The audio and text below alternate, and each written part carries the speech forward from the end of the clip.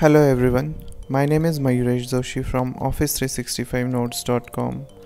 In today's video, we will see how we can download Power Apps images using JavaScript. For example, here in my media I have around 12 images which I want to download along with the name of the images.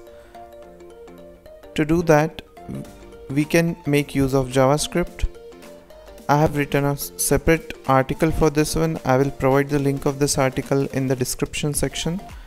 So let's start.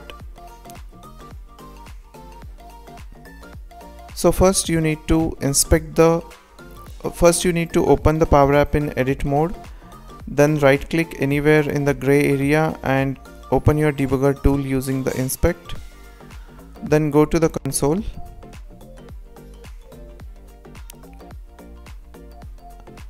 and um, just select this selector and click anywhere select any image from here so that the particular context will get selected over here. Now you just need to execute the script.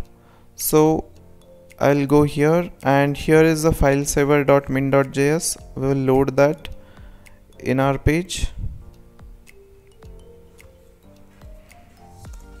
Okay it is loaded then we will execute this script. So I'll copy this and let's paste it here and hit enter. So if you see this will download all these images.